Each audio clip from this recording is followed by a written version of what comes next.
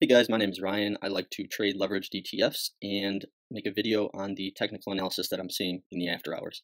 Uh, let's start it off with GDX, gold miners, uh, long-term chart. This goes back to 2011. We can see this uh, big overhead um, resistance level that we've got going on here. And we touched here back in mid-2016 and uh, it has proven to hold firm. Uh, let's get right to it. Let's zoom into the two-hour chart. So here on the two-hour chart, what do we see? We see this upper bold black line as the six-year resistance. Uh, we see a large impulse wave up, followed by a wedge pattern on the way down. The wedge pattern, here we have a 1, 2, 3, 4, 5, 6, 7, 8, 9. And we break out. And now we've just been consolidating for the better part of the year here in what I've I believe to be a symmetrical triangle. This would be a bullish symmetrical triangle if we take the whole chart into consideration because we have a strong bullish move up. We'd fall back down and set our A, B, C, D, E. We're about in the middle part of C and D, and I do expect it to move up to D. June 15th is the rebalancing of Nugget and uh, JNUG, so that's just an important date to keep on your radar. These green and red lines are going to be my ultimate, you know, bias towards either the long or short side. Uh, this this line I drew in here just kind of marks the uh, volume trend that I expect to occur. If what I'm seeing does play out and we do move to D, I expect us to pick up in volume here in the two hour. And then as we fall, I expect us to come back down and then a telltale sign will be as soon as we start to curl back up. One interesting thing to note, I don't know how much weight you'd like to put into it, but I noticed that on our first impulse wave here, we have three notable patterns, and they are very similar and in the same order that we're having him the, them over here on the right side. We have a you know wedge symmetrical triangle pattern going on here, continuation. We have kind of a measured move type of pattern here. We have the same measured move over here. It's marked by two peaks.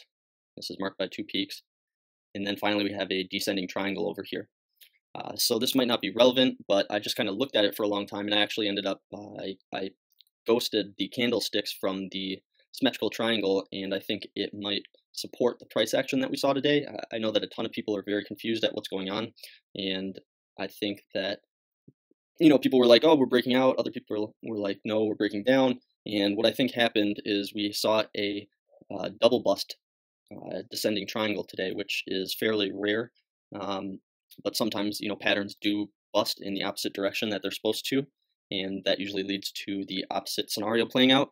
And then you know, that probably happens like 30% of the time. And then 15% of the time we'll have a double bust where it'll do something like this descending triangle did, where we broke out this way, we busted, we fell back into the pattern, we broke out this way, we busted, we, we fell below the pattern, and then we shot up. And if we take a closer look at this, uh, we've got our strong impulse leg into this. We set our resistance level. We set our A. This is our support line. We come up B, C, D, E. Over here, we come up A, B, C, D, E and then we break out briefly. And what I really wanted to show with this chart is that we, I was very confused why we fell back into the pattern today. Now this would be, you know, pretty bearish scenario if it were not for the fact that we recovered and broke back out of the descending triangle within, you know, probably an hour's timeline. And we see the same thing happen over here on the right side. We break out for, you know, half a second and then we fall back into the pattern and then immediately we see an enormous, you know, leg up the next day. So if this would, uh, if, you know, my, my theory as to what's going on with the price action and that this is just kind of the ebb and flow, this is a consolidation continuation pattern, and we're going to head to D as our ultimate destination, this might give some weight as to why we fell back into the pattern after E today. I, am not terrified by this. It, it just was unexpected. Uh, we broke out. I was expecting us. I, I was expecting us to retouch I have this green arrow. I expected us to come down and then bust up higher, but instead we fell back into it, and we see the same thing occurring over here, and that's really all I wanted to show with this. For some divergences, over here we have our um, bull buy setup, and we have this stochastic high and then a higher high, and over here in price we have a high and then a lower high.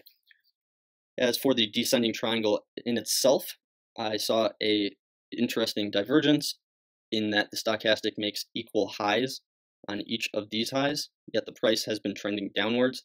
And I think that, you know, this might be a divergence. It's not a typical div divergence, but it is of note nevertheless.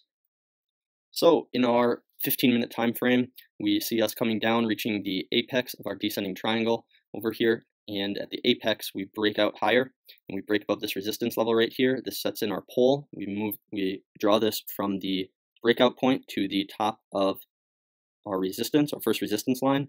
And this impulse wave here is one, two, three, four, five. And then we come down and we set in our A, B, C, D, E. Slight divergence here on C.